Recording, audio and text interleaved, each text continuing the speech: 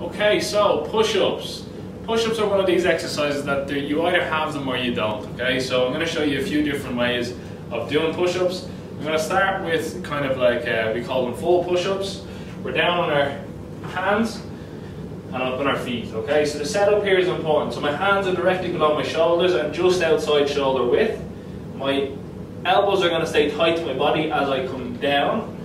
My chest is to the floor and then I'm pushing back up again, okay? So that's a full push-up, down and push.